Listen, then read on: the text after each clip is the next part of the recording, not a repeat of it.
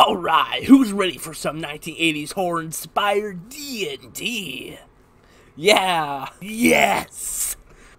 Let's go already! So Samuel, what's the monster or whatever? Shh, you'll see. Nothing could stop me from playing this with you guys.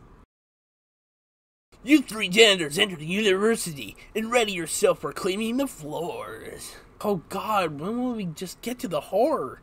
I'm sure we'll get into it real quick. Yeah, we'll have a good time. Nothing, I mean nothing, will stop me from enjoying this. You'll hear a low growl come from under the stairs. What do you do? I will approach it. John, you can't just. Wait a minute.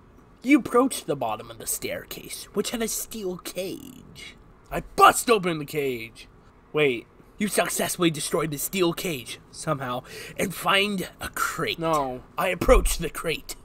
Upon the crate reads, Ship to Horlicks University via Julia Carpenter, Antarctic Expedition, June 19th, 1834. Ethan? John, please don't. I open the crate